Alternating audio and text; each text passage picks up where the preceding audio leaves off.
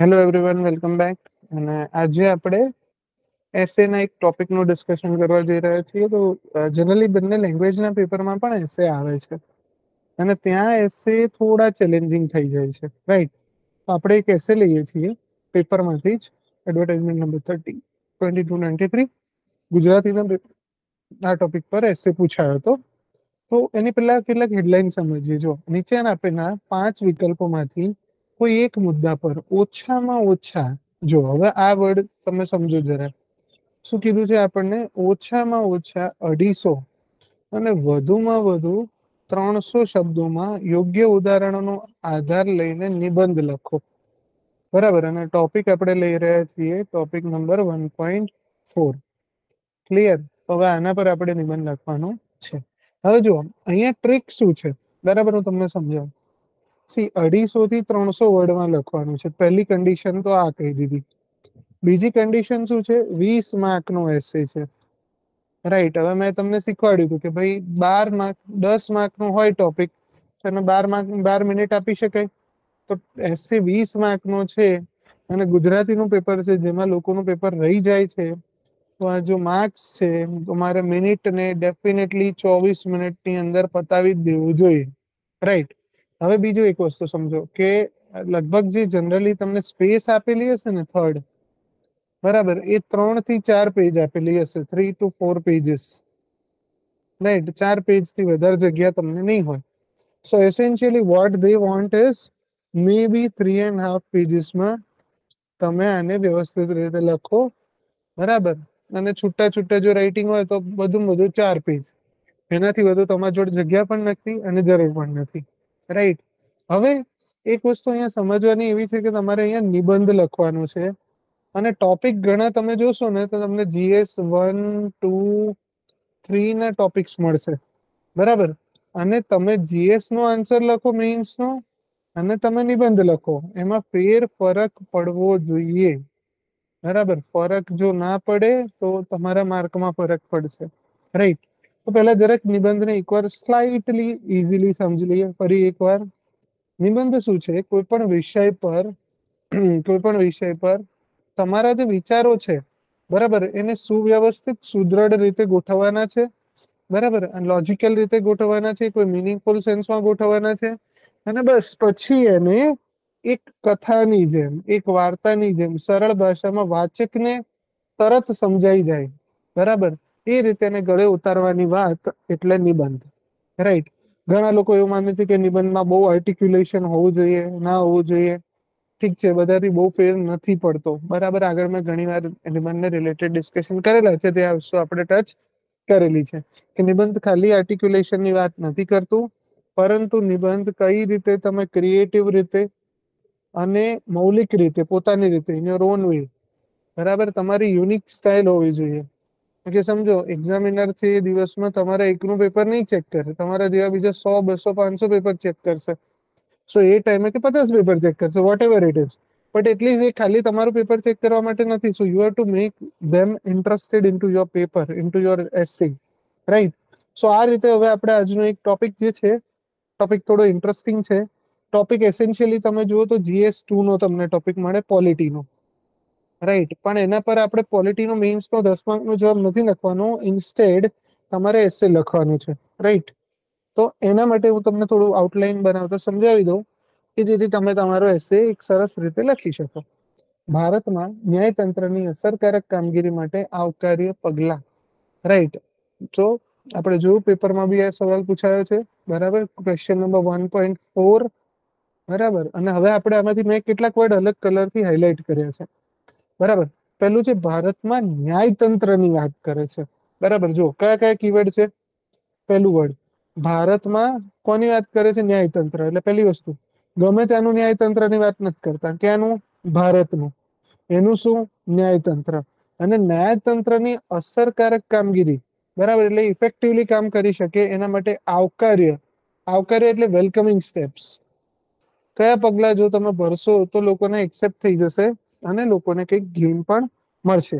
ઠીક છે? This is basically the demand of the question બરાબર? તો તમારે બધી સાઈડને ટચ થાય, પણ એસેન્શિયલી તમારે જો વાત કોની કરે છે તો આ વિષય થયો.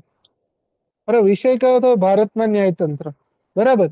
પણ એની માટે તમારે એનું આઉટકમ શું લાવવાનું છે? તો કે અસરકારક કામગીરી. કરવાનું શું છે કે ન્યાયતંત્ર કેવી રીતે કામ કરવું જોઈએ? જુઓ, સમજો. ટોપિક શું છે? ભારતનું ન્યાયતંત્ર. એટલે વિશ્વમાં બીજી જગ્યાના ન્યાયતંત્ર હશે એની વાત નથી કરવી બરાબર? ભારતના ન્યાયતંત્ર અને એને કેવી રીતે કામ કરવાનું છે? અસરકારક કામગીરી. બરાબર? અસરકારક કામગીરી કરવાની છે. કેવી કામગીરી કરવાની છે? ઇફેક્ટિવ બરાબર? અસરકારક કામગીરી માટે આવકાર્ય પગલા. હવે આ કામગીરી તો કરવાની છે, પણ એવા કેવા સ્ટેપ્સ છે કે જે વેલકમિંગ છે, કે જે આવકાર્ય છે? આવકાર્ય પગલા કેવાય કે જે બધા જનરલી એનો સ્વીકાર કરે?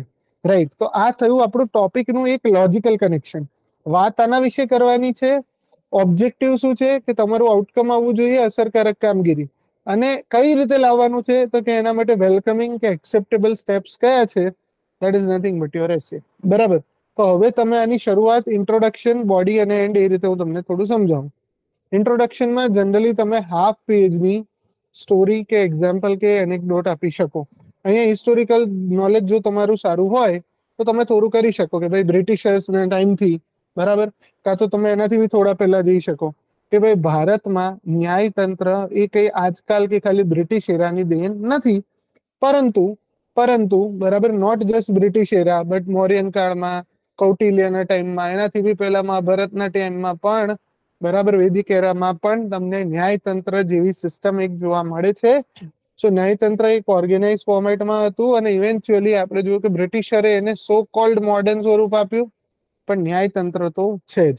હવે આપણે વાત કરીએ છીએ આટલું જ લખવાનું, આમાં ઇન્ટ્રોડક્શન નાનું હશે હાર્ડલી ત્રણ ચાર લીટીમાં.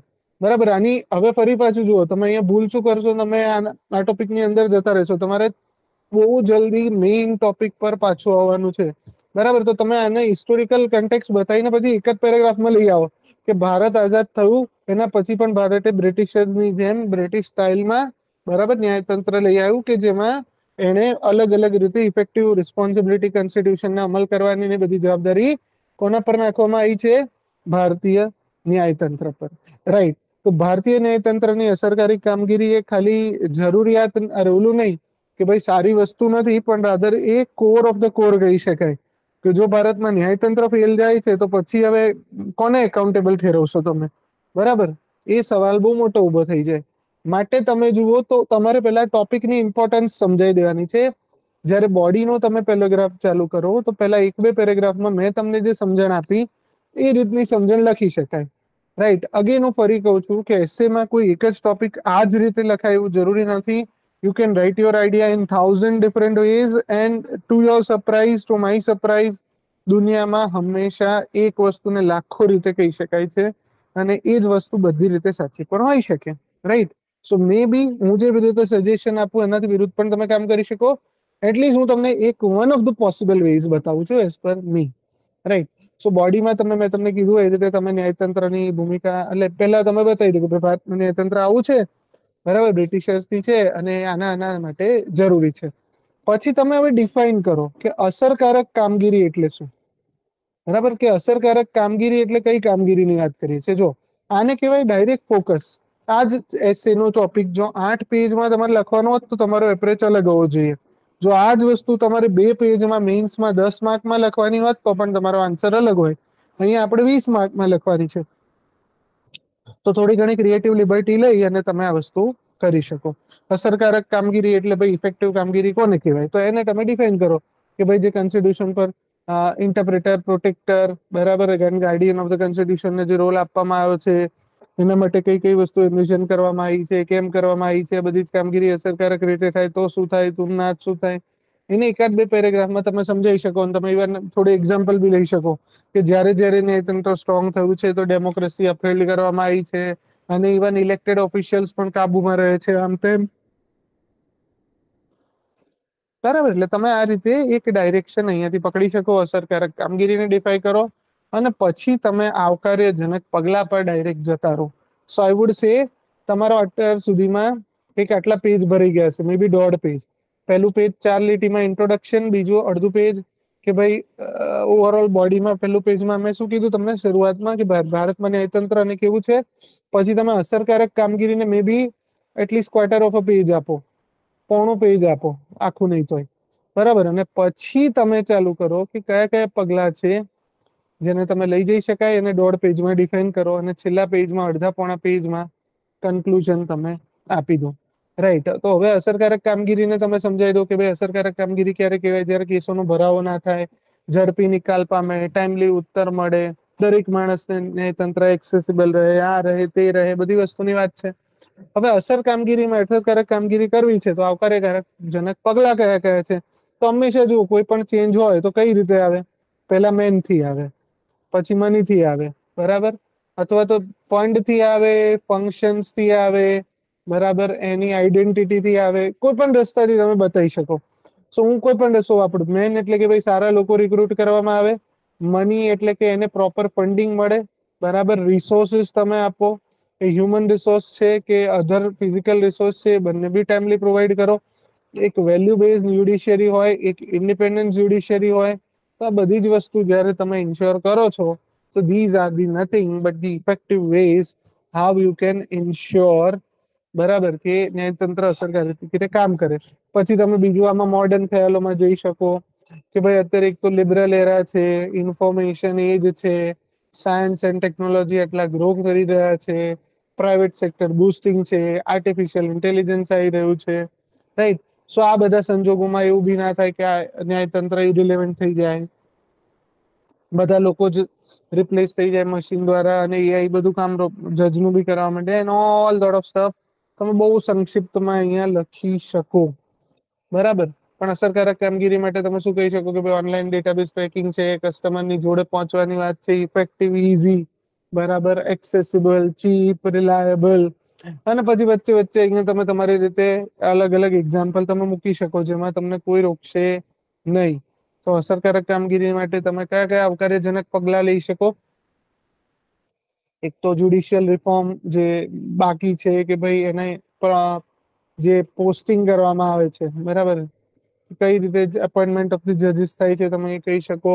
જ્યુડિશિયરીને કેટલી હદે ઇન્ડિપેન્ડન્સ મળવું જોઈએ અને કેટલી હદે એને કોર્ડિનેશનમાં રહીને સ્ટેટ ગવર્મેન્ટ જોડે કરવું જોઈએ જેથી જ્યુડિશિયલ ઓવરરીચ બરાબર અને જ્યુડિશિયલ એક્સ્ટ્રીમિઝમ તમને ન જોવા મળે.